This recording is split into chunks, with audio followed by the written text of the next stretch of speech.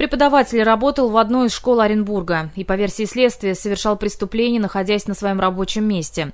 Педагог дополнительного образования организовывал досуг школьников, привлекая их к участию в кружках и секциях. В ходе предварительного следствия следователями 24 человека несовершеннолетних а, признаны потерпевшими по уголовному делу.